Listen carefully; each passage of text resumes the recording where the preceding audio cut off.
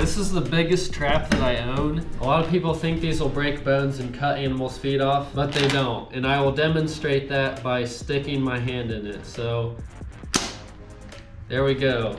I can still move my fingers. I will admit it does kind of hurt, but it does not break bones.